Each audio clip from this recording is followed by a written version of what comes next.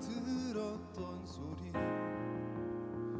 오늘도 지금은 나를 제쳐두고 아무렇지 않게 돌아가.